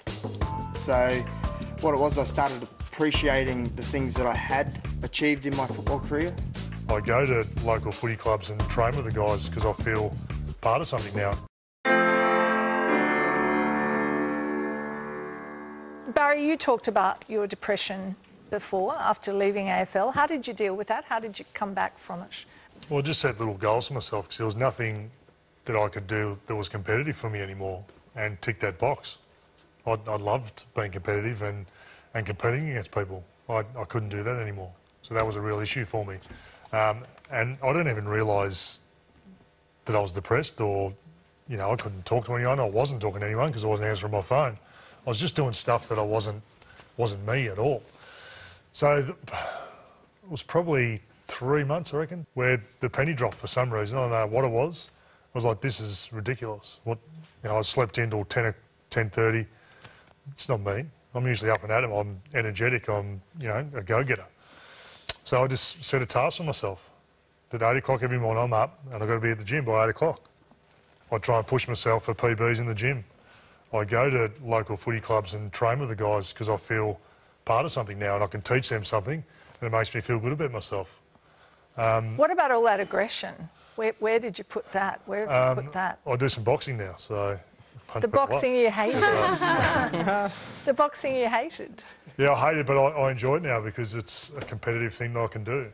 And uh, I hated it being a kid because it was hard and tough, and um, I wasn't mentally attuned to, to be like that at that stage. And you weren't choosing it. Yeah, I wasn't choosing it. So now that I can do it, um, it's a competitive thing I can tick off again. It, it really challenges me And still. you're good at it. It's nice well, to feel well, good look at at my nose. something. I'm not that good. Jake, how did you climb out of the trouble you were in? the turning point for me uh, was I had to sit there in front of my psychologist I'd worked with during my AFL career and listen to her put my mum on loudspeaker and say, um, "Look, I'm with Jake. As you know, he's he's here with me, and before he comes home on the farm, you make sure I need to make sure there's no guns available that he can get access to and, and self harm." Um, and I, even till this very moment tonight, when I go home to the hotel and put my head on the pillow, it's a it's a lump in the throat that I can hear mum every single night. Now, if I didn't have any bigger motivation to get some help and to get some serious change, um, that that was in that moment. So.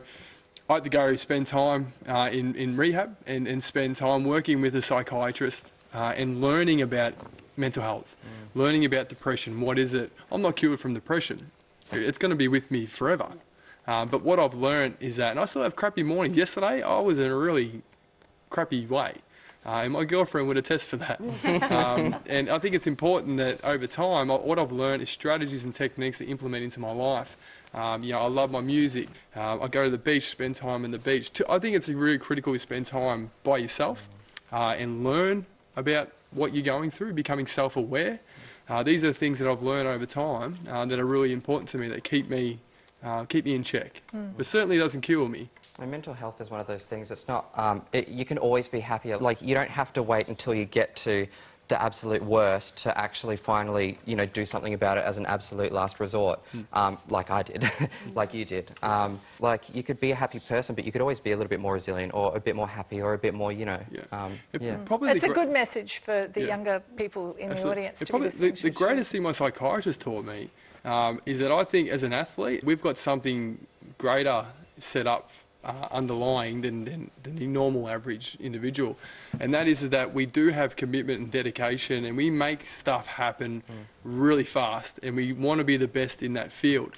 So what I was doing was I was focusing on clearly unresourceful things such as drinking and drugs and fueling that that um, anxiety and, and levels of depression. So once I got my mindset into okay, finding that purpose, who I am, what I want to do the rest of my life. Um, once I realised what that was, it, the commitment and dedication it just came natural. PJ, um, after you were forced to retire from the Broncos because of injury, how did you get yourself back together again? I think there was a number of things. It wasn't just one thing. I know that there's always that saying, and a lot of people would say, oh, there's a lot of other people out there that have got it worse than you. And I just figured to myself, that just makes me feel worse. Mm. Someone else out there feels worse than I do, and I feel like this. So I was like, well, that's just silly. And then other people were saying, I understand what you're going through. And I just felt that that was disrespectful to say that they understand. They're not me. They don't know. So I found that thing that I really enjoyed doing, and I was probably doing it without even knowing. And what that was was, that? working with young people. I had somebody that really supported me at a young age because I didn't get that scholarship straight from school. So I had had a lot of sort of failure. I felt as though I'd failed before I'd even started as a 16 year old. I never finished school to get that scholarship or anything, and I, I had to work for a year. Not that it was a bad thing. I look back at it now; it's great that I had to do that. So, I, and I went the long route uh, around to getting to the Parramatta Eels at that stage. But there was a number of different things that happened. It was going away for two weeks and coming back home, and my wife had signed my oldest boy up to play football. And I was like, I don't want him to play. I'd, I'd already enrolled him in tennis, in golf. I had him doing swimming, everything but football, because I was dark on football. I didn't. I, I was angry. But how did you get yourself back into gear? Was I it s- yeah. working with the young people? What What was it that that s- kicked you out of where you were? it, it definitely was starting to work with young people and understanding that the young people I work with want to do what I done, and that's play state of origin one day, play in the NRL, and to see their eyes light up when I tell them a story, and as I said, to see my young fella get excited about playing for sport again. So my passion for sport came back. So what it was, I started appreciating the things that I had achieved in my football career Mm, rather than rather looking than what at what had you taken lost. from me. Yeah, yeah. Because I still miss football. Uh, To this day, I'm very much like the guys. You start talking about sport and you watch it. Grand final time, it's hard to watch sport. It's hard to watch football because I'm wanting to do it. So I work in for Headspace. You know, it's a youth organisation, deals with mental health. So I'm talking with young people every single day that come in with anxiety and mental health issues. and so are you, Jake. Yeah, so I was asked a question, my psychiatrist, Jake, what do you want to do the rest of your life? And I'm like, mate, I'm worried about not having a beer, and you're asking what do I want to do the rest of my life? That's a big question, right?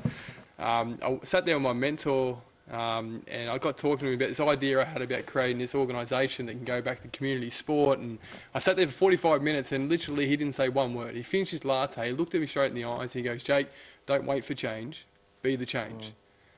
And then he just got up and paid for his coffee and walked off. That's all he said for 40 minutes. So what are you doing? So I'm running an organisation now called Outside the Locker Room, uh, which works with local sporting clubs across Australia, uh, working in the welfare and education um, space. So supporting yeah, young adults and, and parents as well uh, with transitioning. It's basically finding that conduit to get them to uh, clinical support in their in their regions, drugs, alcohol, mental health, all those type of issues. Libby, how did you get out of the slump after retirement? Um, the first time or the second time? The first time Both was going back into swimming. um, the second time, um, because I was, I think because I had had that experience the first time around, I think that did prepare me a lot better. I kind of knew what to expect and I knew um, my mental health plan that, you know, you really do need to, to take consideration of it, I think, in your life. And so for me, that was exercise. I need to exercise every day um, because I think that obviously uh, allows my chemicals to balance and you get that wonderful rush of endorphins. You feel like you're working towards something. Um, it, that creates um, a, a balance in my life, in my mental health. Um, and uh, talking to people. So I see a, a psychologist regularly. She's the lady who I was seeing when I was swimming, so she knows me as an athlete, but now she knows me um, as I've transitioned as well. And I think when you find those people that you can engage with, that you trust, um, and are separate from you know family and friends as well, I think that's really important um, part of that um, transition period. Mm. How much do you miss the adulation? Heaps. Do you? See, I'm the opposite. I never did it for the adulation. Oh no, um, it was all about validation for me, um, and so I guess it's no surprise that I ended up like veering off into, Into a career theatre? into theatre, In cabaret. In, ca- yeah, into theatre where um, you know it's like it's all about the applause. Um, Let's have a look at you. C'est lui pour moi, moi pour lui dans la vie. Il me l'a dit, l'a juré I'm feeling sexy.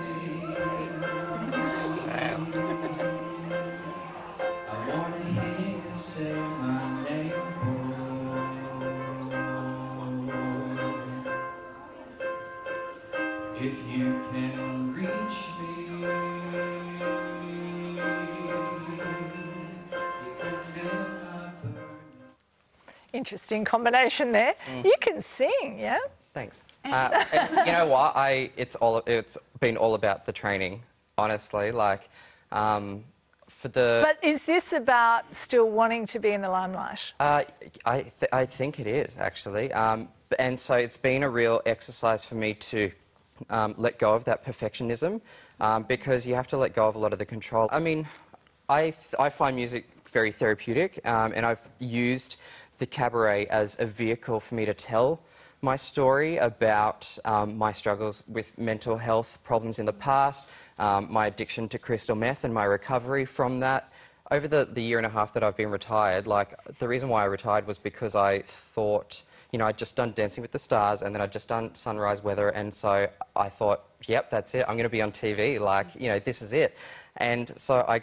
I quit in order to um, be as available for all of these jobs that were definitely about to come in, um, and they didn't. And you know, and the novelty of not being an athlete was great for a while, and I watched a whole lot of TV um, in bed with peanut butter, but then the novelty wore off, and it didn't become a choice anymore because I didn't have anything to go into.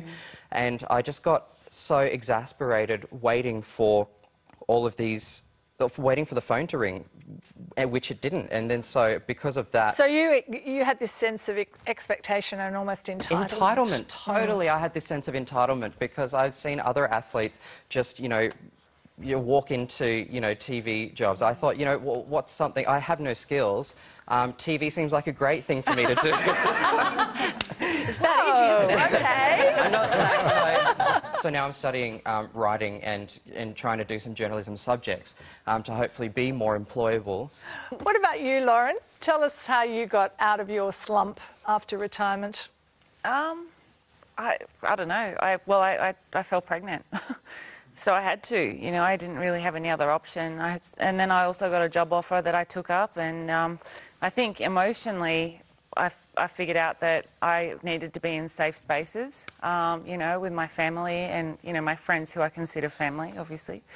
But um, just, you know, staying even as well, like not trying to get too high, not getting too low, you know, and that's been something that I've you know, struggled with throughout my career. And so, but that is the one thing that's actually helped me, and that works for me. So until I had my child, I, um, I had been even, but the highest moment in my life was those 24 hours after I had him.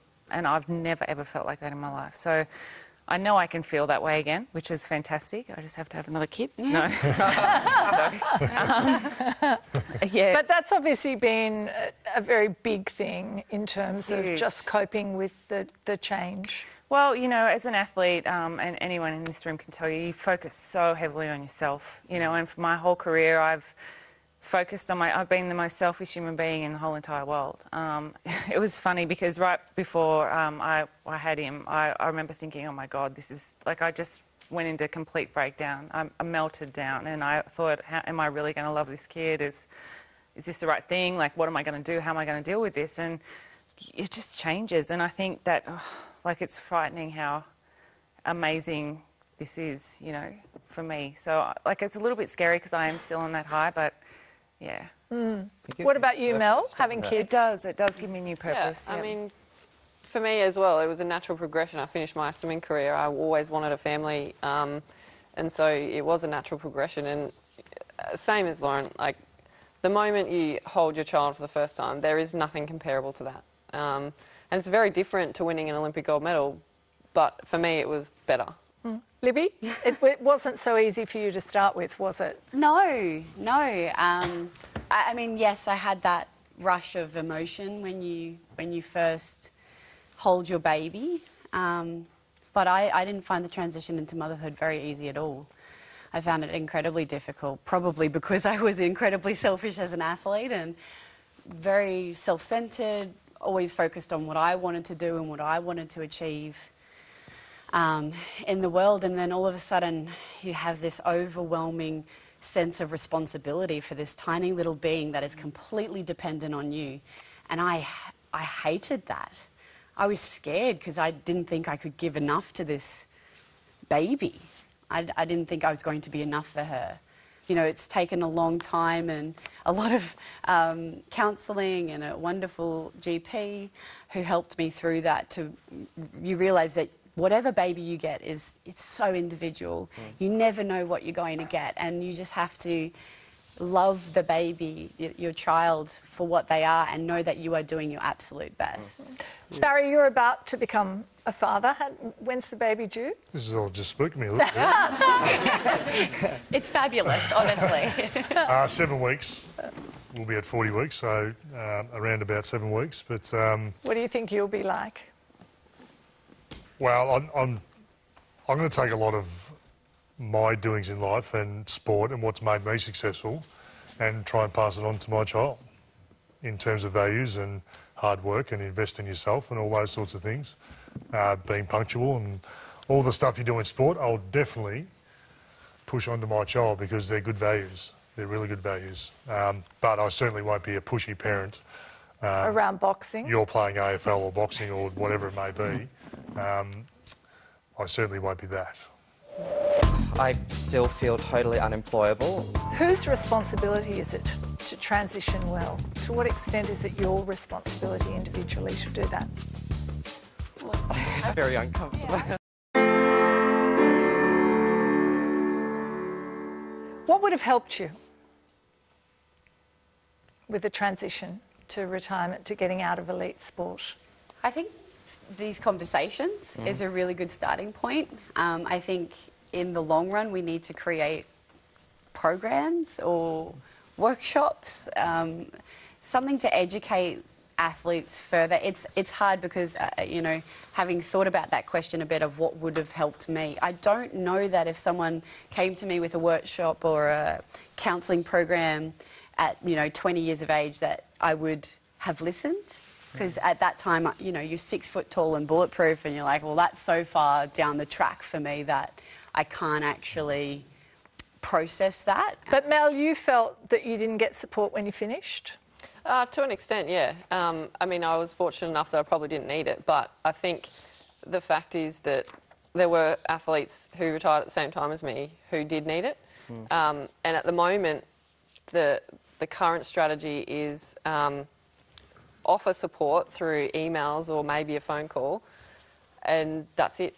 That's the end of the conversation. And so, how many athletes are actually going to take that up when it doesn't really feel like it's legitimate anyway? It's really a tick in the box. You know, I think the the letter that I received started with, "So you didn't make the Olympic team," and it's like, well, oh, that's lovely. Okay, thank you. Um, so you know, it really does feel like a tick in the box in the moment, and I, I do actually think that's largely to do with resources. Mm. But Lana, you're from happening. Swimming Australia. Your response to that? I mean, what do, what does Swimming Australia do to support athletes afterwards? Yeah, we're building our program at the moment. So, um, under the Australian Institute of Sport's Personal Excellence National Framework, we have transition program for the retirement phase. But we're very aware that it's a five to ten year prospect to mm. build these programs into what you know we need them to be. Mm. Um, so valuable. Do you think you need a program that starts when athletes are junior level, like even at that very early stage, starting to prepare them for life after school mm. and then life after sport? Absolutely. At those key progression events, we can intervene throughout the whole pathway, not just at the end. That's awesome. I do think that's a really valuable strategy. I think it's really important to acknowledge codes that are doing it well, um, and I feel as though the AFL is actually going quite about it in quite a decent manner, probably driven by the fact that there's a players' association. It was impressed on us right from the word go that you needed to have something going on, whether it was university or TAFE or an apprenticeship or something that was happening outside of football, and I think that that's something that should be acknowledged and should be maybe a blueprint. Marissa, you're, um, you work with the AFL Players Association on player development. What does the AFL provide to players leaving the game when they retire? Yeah, yeah. It's, it's really pleasing to hear Justin's feedback around that, and we've done a bit of work with Justin, and, and clearly we'll continue to support him as we do all of our players. But probably the piece that, that's really important from our end is that transition doesn't start at the point of transition. Um, we work with our players at really, um, and and the industry really as a whole, at talking to a philosophy of pure individualisation when the players are in the game. So we work with clubs to develop action plans for players whilst they're in the game for their off-field development. Is that voluntary or is it compulsory? yeah, we, we don't make any of our programs compulsory. We uh, sort of understand that if you force any people to, to go down a certain path that, that doesn't appeal to them at any given time, the So, how many people actually use it, access it? We had about 30% of our players, all players on, on, on the 18 AFL club lists, that identified it as having some kind of plan around their off-field development. Um, the second year after we implemented Max 360, that, that number went up to 53%. And the third year, which was last year, that was at 66%. So we see that really gradual increase. That tells us that right now we've got about two thirds of our playing group who have some kind of a written plan that they're working with uh, their, their own support network within the club, within the AFLPA, to towards their goals and their targets. But, but the other piece that I, that I want to raise here too is there's a really important structural part to this. And um, we talk programs and workshops. So for, for where we sit, this is much more about the way player development is embedded in the life of a football club, embedded in the industry, and therefore the career of, of these guys and, and now girls in our case. Um, and the understanding that a really well balanced, happy, in growing, developing individual is actually going to perform better in their workplace and also be happier and, and able to transition, hopefully, um, much more smoothly. Barry, would you have accessed any of that? I wouldn't have at that stage, but I think football clubs and the AFLPA have come a hell of a long way since, um, you know, since I've retired, and that's only what six years ago. Um, I think you've got to create an environment where players are comfortable to talk, and I think that's a lot better now. I I was still in that muncho, you know, I'm too tough to be depressed stage, and a lot of players were, and I wasn't comfortable with talking to anyone about it. Paul, you're um, head of the NRL's Wellbeing and Education Unit. You run mandatory programs, don't you? Mandatory wellbeing programs. How, how are they working with your players? Well, we, we well with our under 20s competition, we make it mandatory. You have to work or study, so you have to do something. Um, we don't. We try and try and steer in anyone in direction, but it's just something else that gives you some value in your life, uh, and a purpose and self-esteem and self-concept in your life. Whose responsibility is it to transition well? To what extent is it your responsibility individually to do that? It's very uncomfortable. Yeah, I think, I think ultimately it always comes back to, To you, you, yeah. the individual, and I think as athletes we all know that. You know, it, it all, our performance always came down to us. But we don't know unless we know. And so now that there's like, now that a conversation has started, and, and now that we're saying it is the athlete's responsibility. But you need that support network. That's well, yeah, the facilities need the infrastructure needs to be there in order for you to take responsibility mm. for your. Mm. Because you're used to having structure It- it will allow around us to you. take so I guess my question is, you know, how do you move into a situation where you have to start taking the responsibility? There isn't somebody demanding you be at training every day. You've got to actually do something to change your life. Um, you know, to what extent is it the obligation, or do you see it as the obligation of these sporting bodies to do something, and to what extent do you think it's your responsibility Well, as I, well? I think we need to create that culture so that, you know, from the guys who are coming through now, 16, 17, 18, that they just know now what they're working towards outside of their sport. For us who have already retired and, you know, we're sort of trying to make background, you know, we have to, we do have to take responsibility for our, our transition and, but it would be, um, helpful if the, the organisations that we were performing for um, and competing for help us through that. You know, if you do, devote so much of your life to um, to your sport, um, and you would hope that they would return the favour. Um, and help you make that transition a little bit easier as well. But also keep your athletes engaged in the sport, you know, because they, we are role models whether we like it or not. And, you know, there are so many athletes coming through who watched you and watched you compete and you can give back to the sport. And I know that is something that I so value now is still being engaged with swimming and, and you know, promoting swimming and, and making sure that people know what a wonderful sport it is. That gives me value um, and validation and, you know, hopefully helps the, the transition as well, I think. Yeah, you don't want people. I, I say I don't want people to watch this show and think, "Oh, poor athletes. Oh, he had a great 150 games." every kid would have loved to have done what he done. What's he whinging about? I blame nobody. I know that I needed to prepare better, and it was just probably, you know, I probably didn't have things in place, and it was my fault. You know, and I and that's why now I do what I do, going out, talking to young people, and just making them aware of it. I want them to focus on their plan A, but just be mindful that plan B, you may and you probably will need it one day. Do you still miss it? Every day. Yep. Every day. Every day. Barry, you're a commentator now. You're a part time coach with the uh, Gold Coast Suns. Do you still get the urge to be out there? Yeah, just before games when they're warming up and you get that feeling of when you used to, to run out and what that felt like and the adrenaline. I, I do miss it. Uh, I don't miss the the day to day Yeah. during the week stuff. Don't miss the training. Don't but miss the you, you miss you miss the game day. yeah, the adrenaline. Lauren, you're um, the commercial operations manager at the Boomers, the Melbourne Boomers. How's that going? Oh, I love it. I um, I've really enjoyed becoming an administrator and being behind the scenes. I, you know, I, I love it. I Do you miss absolutely- being out there? I don't miss the pain. I don't miss. There's a lot of things I don't miss. Um, no, not yet. I will at some point, I think, but I don't right now. There was just too much I went through. What about the rest of you, Jay? Uh, yeah, I think, um, well, I left AFL, went home to the country, played a year, went back to VFL to semi professional, and then went back to country for four years. And now I've gone back to semi professional in the VFL. Um, I miss that real competitiveness, but also miss that high level of training um, and that camaraderie, all moving together in the one direction to achieve the, the ultimate outcome. Uh, so, PJ? yeah, yes and no. Do you miss it still? Yeah, I was one. I said every day. I miss it every day. I, I suppose I, I go to junior sports now and I watch my boys play and I'm actually not allowed to say anything on the sideline. my wife tells me I'm got to stand a certain distance back, but I, I watch and I see the enjoyment that they get out of it as I did as a kid, and it's it is fulfilling. Mm. Libby, what are you doing now? Uh, I'm on a, a radio show in um, based out of southeast Queensland in Brisbane. Um, so yeah, that's that's fun. Um, live radio is kind of a little bit adrenaline pumping, so you kind of get that little payoff that I probably Performing. Yeah, exactly. You are performing um, definitely. So that's a lot of fun, and obviously my daughter keeps me on my toes a lot. As And do you miss swimming? Yeah, absolutely. But uh, it's becoming less and less.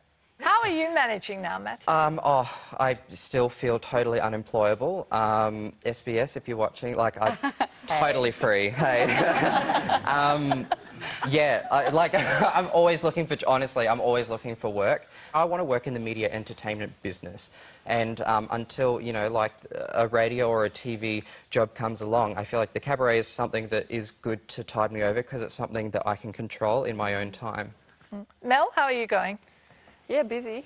Um, just taking it day by day, sometimes hour by hour. But um, look, I'm on a pathway towards a goal that I have wanted to, to reach my whole life. To be a And so doctor. I've really just, I guess, replaced one addiction with another. So um, eventually becoming a doctor, that's the end goal. And um, yeah, that's where I'm headed.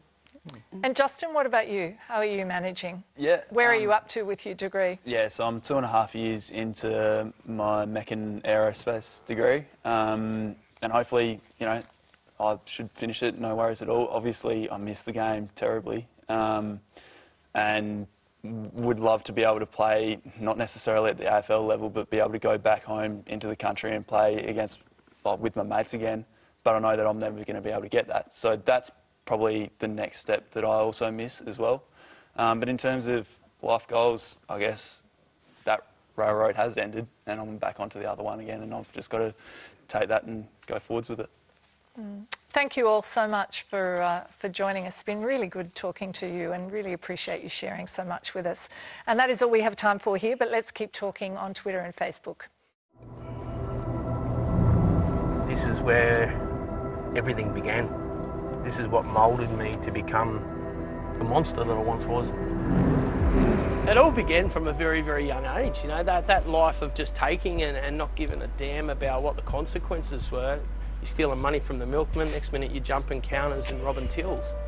You're kicking indoors and taking people's drug money. That's, that's how it began.